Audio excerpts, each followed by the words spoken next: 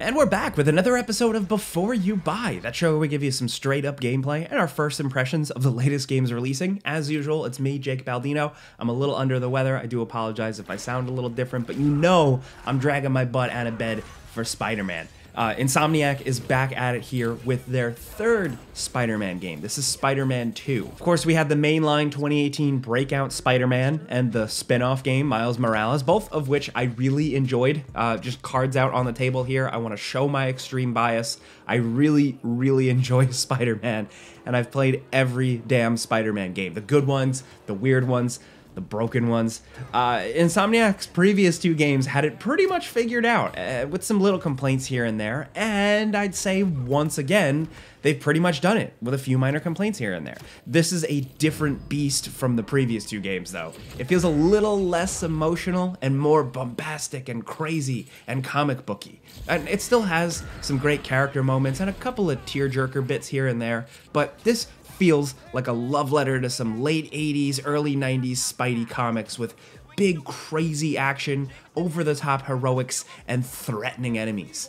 Uh, like God of War 2018 to God of War Ragnarok, it's great. Uh, it adds a ton more gameplay and more cool stuff, but I think the initial shock value of the story and presentation of the first game still feels a bit stronger. But still, overall, this thing is absolutely incredible. So let's get into it. Just so you know, we've been playing a review copy provided by Sony, and this footage was captured on PlayStation 5, swapping between the graphical modes, and this footage is as spoiler free as I could possibly make it. But be warned, there are some cool surprises like right from the beginning of this game, and I think other video reviews are gonna show off a lot more than me. I want you to be surprised with some of this because it made me as a fan really happy to discover it myself so that's that's just a warning anyways spider-man 2 takes place a few months after the events of miles morales so the two spider-men are in full uh, swing together you know they're doing their hero thing they're fully formed and they're in a good groove until Kraven,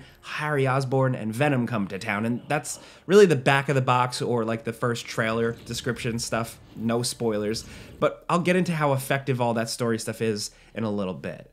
Now, gameplay wise, the loop is pretty similar. You're in the city, progressing through the adventure, and those main story missions are broken up by the game asking you to go out into the world and do open world stuff. Love it or hate it, you know, your character will say after a mission, hmm, I should really check in on crime before I go do the next thing, you know? And that's when you go out and do all the other stuff. There are hidden collectibles to find, enemy bases to take down, a lot of the standard stuff you've already seen. If you love Spider Man, it's good, solid Spider Man busy work. Uh, thankfully, a lot of it is a lot more streamlined and shaken up a bit to feel a little bit less repetitive. Like stopping car chases is less of a big thing you go and do, and then it's one of the same two car stopping animations in the minigame over and over and over again. Now, here, it, it's just something that usually pops up really close to you while you're swinging, and you just swing on over and do a quick heroic, and it can be over and done with in a few seconds. It's like these small quality of life changes that make a difference. I also found a lot of the collectibles more interesting this time around. There are quite a few, and a lot of them have like sub story ramifications that are pretty fun actually and, and, pretty interesting to help them feel a little bit less like busy work and more like something you genuinely want to do and get something out of it you know for this adventure now, aside from the usual busy stuff, there are good, compelling side missions this time around as well, like actual story stuff. And some might surprise you. They're often lighthearted and sweet and simple, but they're much stronger diversions than just like, you know, clear another bad guy camp especially uh, a few that have their own somewhat self-contained stories with some familiar faces and a couple of surprises. Now, enemy factions, like in previous games, are, are kind of what a lot of the side objectives and stuff to do kind of revolve around. The enemy factions aren't too various. There are like sort of two main ones and two side ones, one of which can be super stressful in a good way. Uh, that's all I'll say. I'll definitely say could have used one more solid full enemy faction to keep things interesting, but at the very least, the main enemy faction in the game does have a lot of different enemy varieties. Now, as for the main missions, I, I know it took a while to get to this, sorry, uh, they're great Good Spider Man adventuring, slower moments with characters and puzzles, and some solid boss battles and big set piece spectacle moments you'd expect. Some boss battles had a surprising amount of challenge to them. I found myself getting brutalized a few times, more than I expected, as these games are typically fairly easy breezy. But there is some absolutely awesome shit that goes down on screen.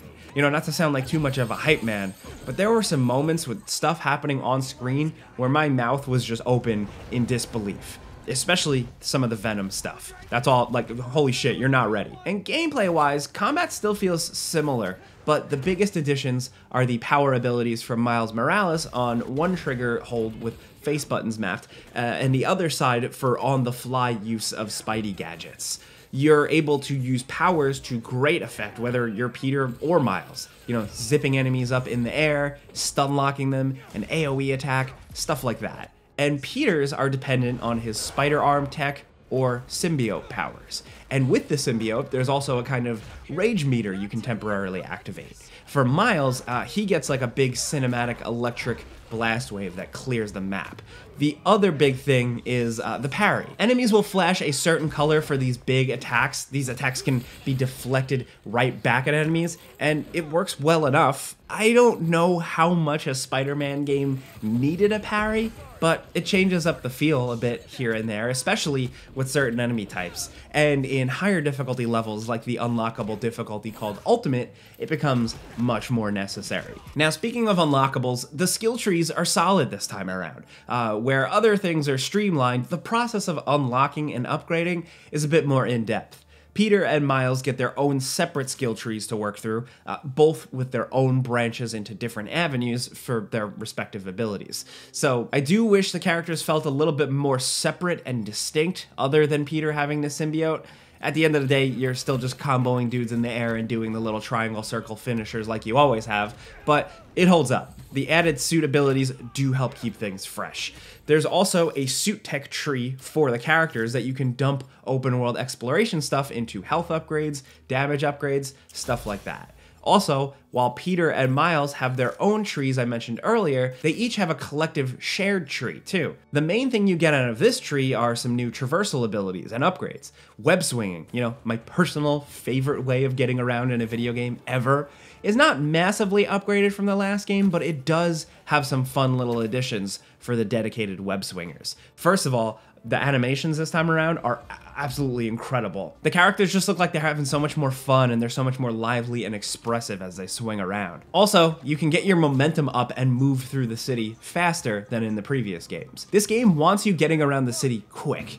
It loads it all in really fast, and they're clearly very proud of that. Now, one of my favorite ways to get yourself moving through the city quick uh, is the big loop that you can do. Now, if you do it right, you can fling yourself really far. It feels a little awkward sometimes with how the camera pans out, and I don't know if it makes sense physics-wise, but I don't care. It's cool. You can also do a slingshot yank and release wherever you are to really get going fast. And you can also do like a hard right turn or, or, or left turn swing where the character will yank themselves 90 degrees to like turn a corner. You can actually hold that button longer, and if you can get near, say, like a flagpole, you can just swing around it horizontally. Now, it's a little awkward because the character can just do it forever, but again, it's cool when you use it for certain situations, and these are just good new tricks to get around. Again, they didn't overhaul the web swing, but there's just a bit more to it. And then there's also the wingsuit, the, you know, the, the web wings to get you around even faster. Fast travel is available to be unlocked by spending time in each district, and it's really fast and impressive visually, but the, the web wings are kind of like the in-game fast travel. It, it's great in short bursts just to bust them out and glide quickly where your webs can't attach. Like if you're too high, it's nice in a pinch. But you can also glide into these wind tunnels in the city that shoot you through town at a higher rate of speed.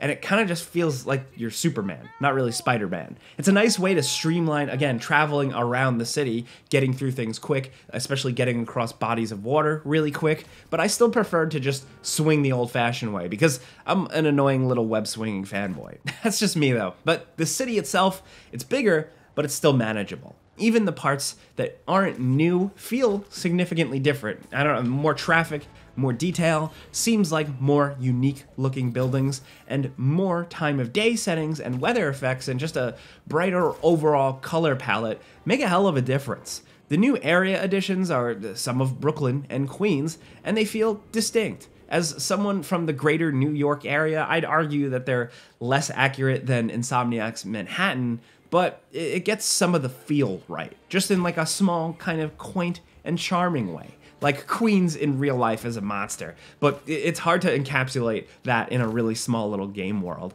Still, I'm just glad it's there, and it's nice that there are tons of bridges to swing around and really just more to explore. The city just feels so much bigger, like when you're perched on a building overlooking an entire highway, like the BQE, just like filled with cars and traffic. And again, with the bridges, with the river, it feels way more like a fully fleshed out New York now. And technically wise, it all performs great. Loading, fast traveling, Everything is super fast and detailed. Uh, it has a performance and fidelity mode as well as a 40 mode if you have a 120 hertz TV, which is nice. And uh, none of the modes really show significant compromises to my naked eye other than frame rate. I had two crashes in like over 30 hours of playing. That was really my only complaint. Now, the only other thing I think might be a negative for some people are the Mary Jane sections. They were criticized in the last game for kind of killing the pacing, but I didn't mind them personally. Now, in Spider Man 2, they bring back Mary Jane sections, and this time they feel far less creative. While some people would argue in the previous game they would kill the pace, I still found like what I was doing in the story as Mary Jane was interesting. Here, it's her just thrown into a few generic sections. One moment is a standout, but the rest of the sequences had me just going, oh man, this again, come on. It's not a huge part of the game, but it was a negative that I could find. Uh, and that being said, I personally really liked what they did with Mary Jane's story and character arc. There's some good stuff there. And that really goes for everyone, really. There's one element from the previous games I wish was followed up on a bit more, but otherwise, I thought they did a really good job weaving Miles into a Spider Man story involving these classic villains and shaking things up quite a bit, while also keeping the relationship between Miles and Peter interesting, uh, especially in some pretty nuanced ways. So, really, what I'm trying to get across is that while the original Spider Man, Spider Man 2018, uh, left me emotional by the end of the game, the end of Spider Man 2 just had me going, hell yeah, dude. The action in this thing is crazy, the spectacle is nuts, and again, I don't want to sound like I'm overly gushing or anything, but I just really like Spider Man, and if you're coming to this and you already know how I approach these things and you know I'm a Spider Man fan, I can at least tell you that I am very happy from that standpoint. But of course, that's a before you buy. You know how this goes by now. I give you some pros, some cons, and some personal opinions, and now we want to hear yours down in the comments. Granted, it's still a few days before the game releases, but we'd love to hear what you're expecting. Maybe like the first thing you're going to do when you get out into the open world, maybe experiment with some of those web swinging powers. Let's talk about anything Spider-Man 2 down in the comments. We'll be talking a lot more about Spider-Man 2 in other videos, and I'll be talking about it more on my channel as well, so keep your eyes peeled for all that, but if this video helped you out at all, you like seeing gameplay, getting some insight, clicking the like button helps us. Thank you. But as always, thanks for watching. We'll see you guys next time.